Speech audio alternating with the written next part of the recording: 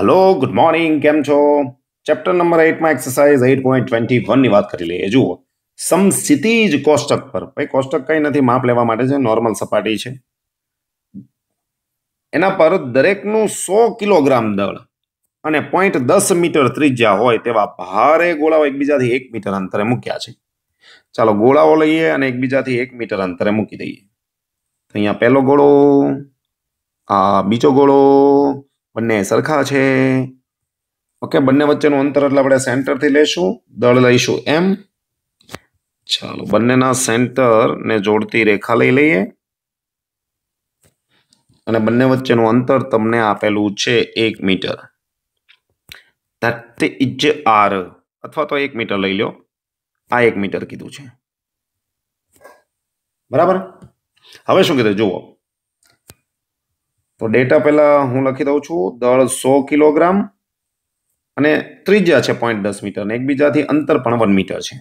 Okay જે આપણે લખેલું છે. ગોળાના કેન્દ્રને જોડતી રેખા. બંનેના કેન્દ્ર ઓલરેડી જોડેલા છે અને જોડતી રેખા પણ છે. એના મધ્ય બિંદુએ. ચાલો, મધ્ય બિંદુ અહીંયા લઈ લઉં છું. કોઈ બિંદુ પી પી ને આપણે કહીશું મધ્ય બિંદુ. ઓકે હવે મધ્ય બિંદુ છે.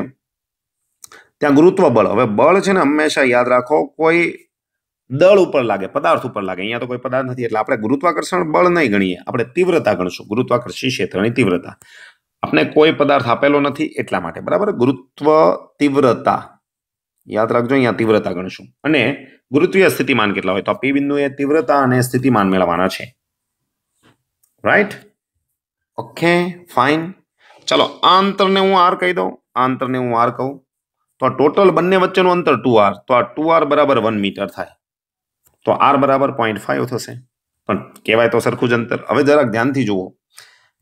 પહેલો પદાર્થ છે અને આ બીજો પદાર્થ છે. પહેલો પદાર્થ ગુરુત્વાકર્ષી ક્ષેત્ર એના કેન્દ્ર તરફ આવશે. ક્ષેત્રની દિશા તમને ખબર છે. ઓકે, જે દળ ધરાવતો પદાર્થ હોય એના કેન્દ્ર તરફ આવે અને બીજો પદાર્થ છે એના માટેની દિશા આ આવશે.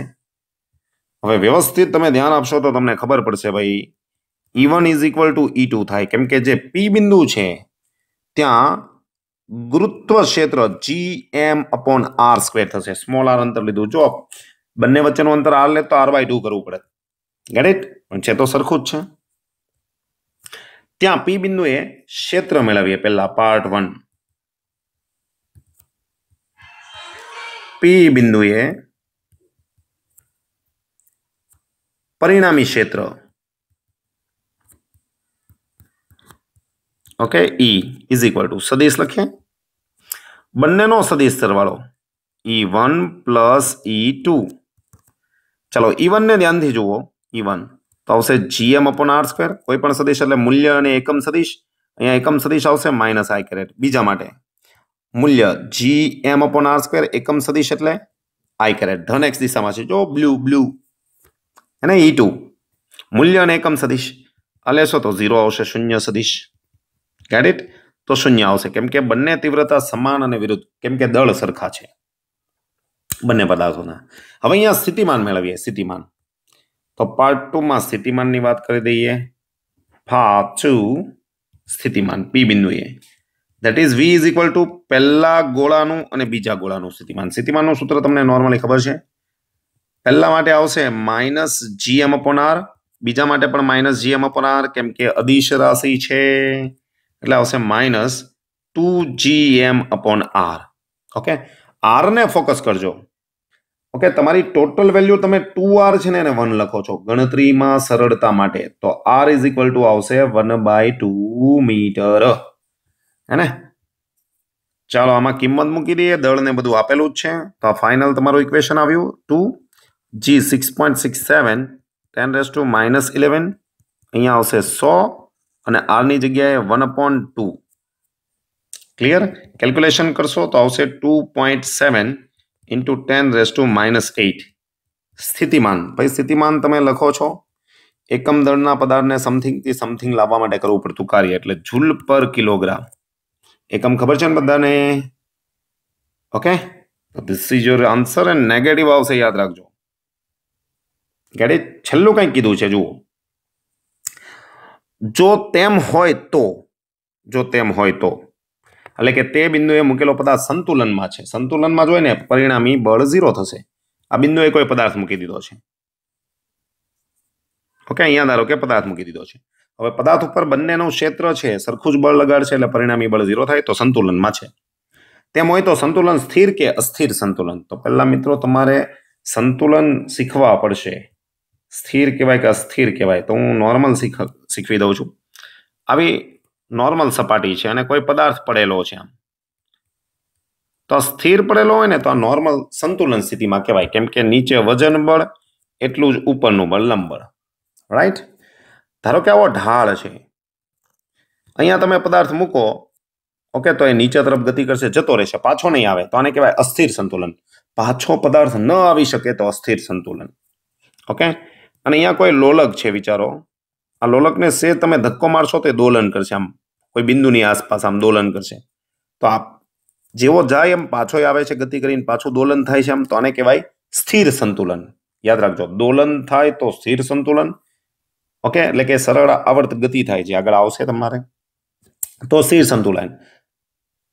થોડુંક એને સ્લાઇડ સ્થાનાંતર આપો અને જતો રહે, પાછો ન વળે, તો એ અસ્થિર સંતુલન કહેવાય. તો આપણે થોડુંક સ્થાનાંતર આપીએ. જુઓ અહીંયા. આકૃતિમાં જુઓ. જુઓ મિત્રો એમ દળનો પદાર્થ છે અને થોડુંક તમે સ્થાનાંતર આપો ડાબી બાજુ. સમજવા માટે હું થોડુંક વધારે લઉં છું. અહીંયા. ઓકે? તો આ બાજુ એનું જે ક્ષેત્ર છે, એનું બળ છે, હું બળ લઈ લઉં છું. આ બળ એફ વન જમણી તરફ જે બળ લાગશે પદાર્થ ઉપર, એ બળ એફ ટુ પણ જુઓ, જમણી બાજુ છે એ પદાર્થનું અંતર બહુ ઓછું સોરી વધારે હોવાથી આ બળ ઘટી જશે. એને તો આ બળ વધી જશે. હવે બળ વધી જાય તો પદાર્થ પહેલા ગ્રહ તરફ ખસી જાય, પાછો નહીં આવે એને સેમ ટુ સેમ તમે બીજી તરફ પણ આવું વિચારી શકો. એમ દળના પદાર્થને થોડુંક જમણી બાજુ લઈ જાઓ.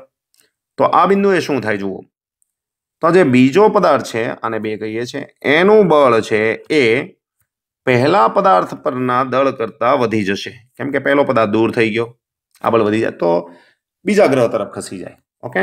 તો આપણે અહીંયા લખશું ભાઈ. કે એમ દળના પદાર્થને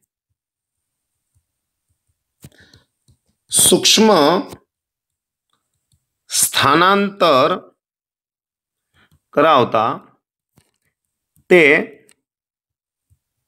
પરિણામી બળની અસર હેઠળ, ઓકે, ગતિ કરી ગતિ કરી. કયું સંતુલન મેળવશે? અસ્થિર સંતુલન.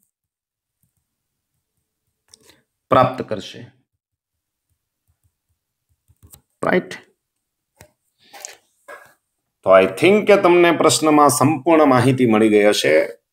તો ફરી પાછા આવા જ પ્રશ્નો સાથે મળતા રહીશું. ત્યાં સુધી જય હિન્દ, જય ભારત. વંદે માતરમ. મિલતે બ્રેક બાદ.